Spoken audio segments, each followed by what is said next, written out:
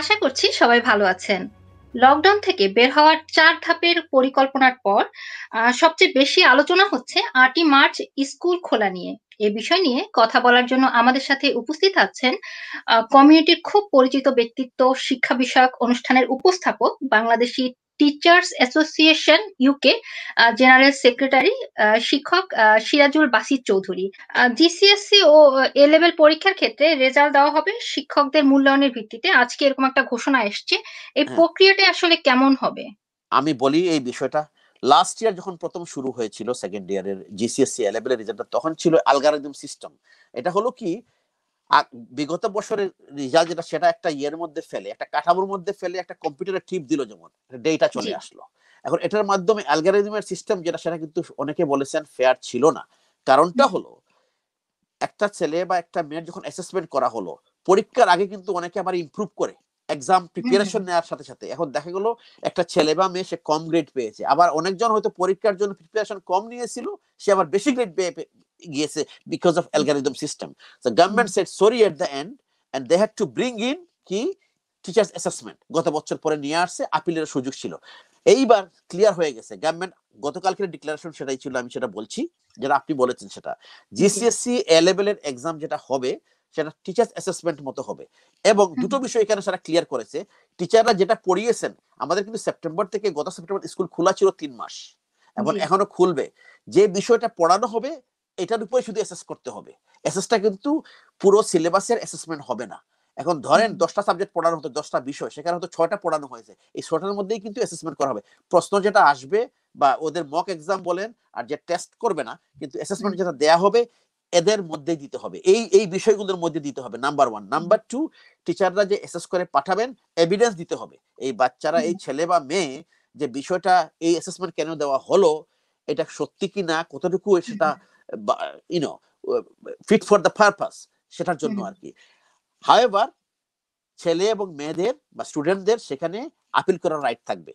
তাদের কিন্তু আপিলও করতে পারবে যদি সেখানে ছেলে বা মেয়ে স্টুডেন্টরা যদি এগ্রি না হয় যে আমি সেটা এগ্রি করি বা প্যারেন্টসরা যদি মনে করেন আমার ছেলে বা মেয়ে এর থেকে ভালো রেজাল্ট করতো যদি সে এক্সামে বসতো।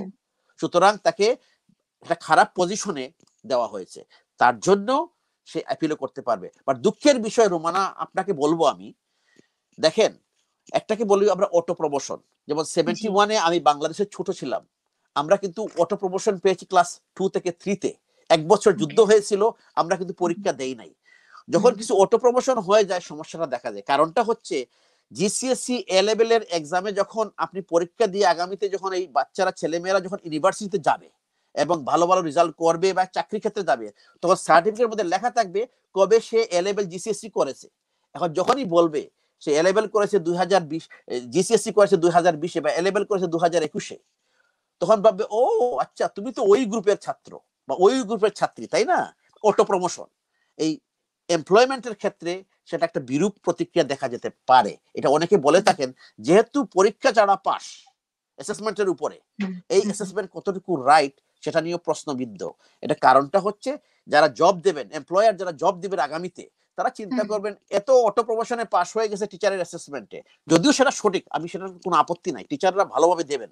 তারপরেও পরীক্ষায় বসে যে পরীক্ষা দেয়াটা আর ওই যে টিচার অ্যাসেসমেন্ট করে নেয়া দুটো বিষয় কিন্তু সমান না কিন্তু। না এখানে মানে আমি আজকে আজকের পত্রিকা বা আজকের মিডিয়া দেখে যেটা আমি দেখলাম যে তারা শুধুই যে টিচাররা অ্যাসেসমেন্ট করবে এখানে একটা মক টেস্টের কথা বলা হচ্ছে। এই মক হ্যাঁ। টেস্টটা আসলে উম, কি? এই এক্সাম প্রক্রিয়াটা কি আসলে মানে ন্যাচারাল যেভাবে ক্লাস এক্সাম হয় এর- এরকমই কি কোনো প্রক্রিয়া?